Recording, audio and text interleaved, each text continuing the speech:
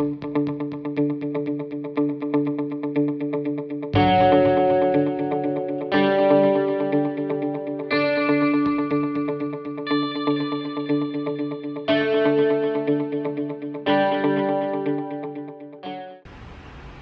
it's T with TeaQuilts and I'm here to do more of a show and tell today. I don't have any blocks done because I've been constantly working on the t-shirt quilt. So I just wanted to show you what I have been doing and give you just a very quick little quilt show.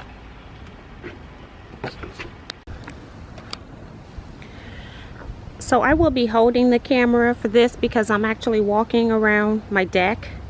And this is quilt top number two of the memory quilts and I have decided to do them in pairs now and so therefore I have memory quilt top number three completed as well. I want to quilt both of them at the same time so that I can run both of them through on the long arm without having to realign my panto. So that's why I'm working in pairs now. And then over here, I talked about in my video where I picked the fabric for my quilter's patch quilt that I got a lot of neutrals from a lady that was visiting our guild from Iowa Star Quilts. And this is also her pattern. It's called Zigzag 9. And I actually put the borders onto this quilt so that I could show it to her when she came. Her original pattern does not have the two outside borders. But I started with the outside borders for inspiration on color and then did it that way. And this is her more original pattern type. This was the first one that I made. But then my scrap quilting club wanted to do one and I didn't want to make the same one and that's why I made this second one. But this is the original pattern, much more graphic. When you have a light background and two of her other patterns that I bought while she was here or that I got she actually gave these to me because I was thinking about doing one with my scrap quilting club.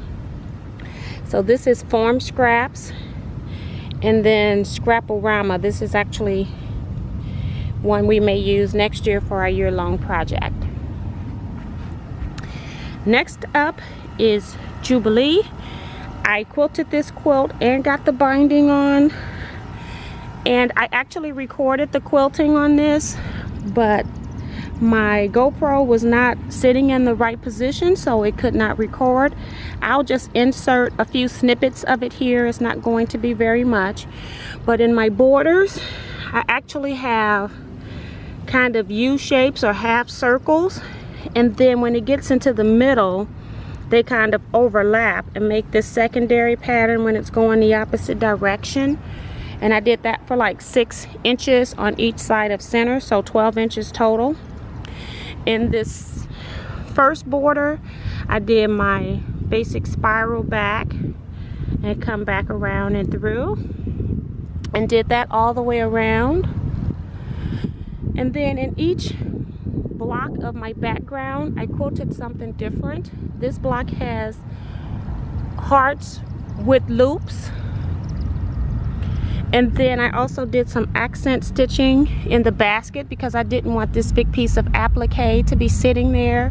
And then the rest of the applique pieces were just outline stitched around. I put a little design in this egg because it was a little fuller as well as that one. And then I stitched this kind of back and forth stitching in particular sashings.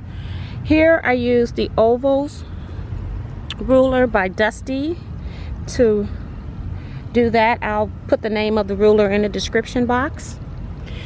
And then I meandered in the back of very small pieces and again I done some accent stitching in the tulip. The same thing with background stitching in the rabbits. In small thin sessions that were one inch or so I just did this wavy S free-handed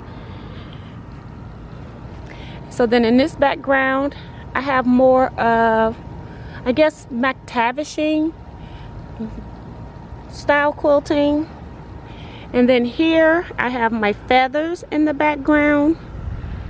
And then in the egg, I actually decorated this egg because I thought it was too plain because I didn't use a more defined pattern print and then here I just did some accent stitching around because I didn't want to go through my egg. This background stitching has pebbles.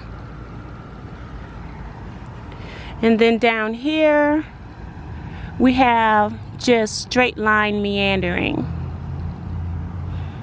And again I did some accent stitching in the vases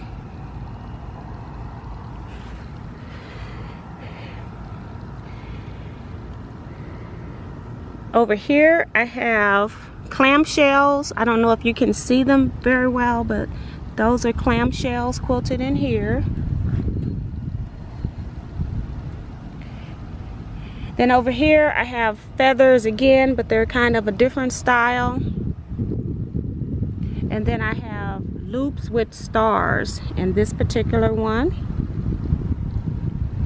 More meandering in the red corners I needed something to put into the square so that's what I chose. Back here I just have stitching that just gradually goes out. I'm blocking the name of it right now but it's more of a shadow outline of the quilt pattern on the inside. And I did stitch around each of these eggs so that it wouldn't pop out in the middle. Over here it's just plain loops yes those are just plain loops in there. And then over here I do have some spiral curls. So that is the quilting on this quilt. I just wanted to get this one completed to get it off of my to-do list and I'm happy with it because I got to practice a lot of different styles of quilting. The last quilt that I worked on is that I also quilted my quilt when life is scrappy make a quilt and I don't have the binding on it yet but it's actually going into our quilt show so I needed to get this one done. And I didn't show or make a video on the quilting on this because I just used my feathers that I was using learning how to put feathers in a row. And that's exactly what I did here so now my last step is that I need to put a hanging sleeve on this particular one and do the binding. So I hope you enjoyed this quick video of what I am working on and I'll see you next time. Bye-bye.